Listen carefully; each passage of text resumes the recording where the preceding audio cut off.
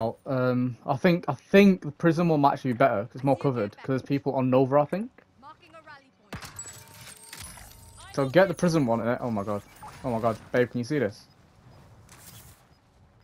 Over, you remember that thing that happened to me a while ago where I can't see anything?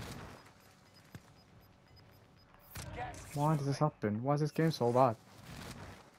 I can't tell where I've landed. I'm on the roof. I think I'm on the roof. Yep, I died. Yeah, I can't see. I, I legit can't see. I, I can't. You can take me later. Just, just res me, please. Not dead yet. I just want to get to the loadout.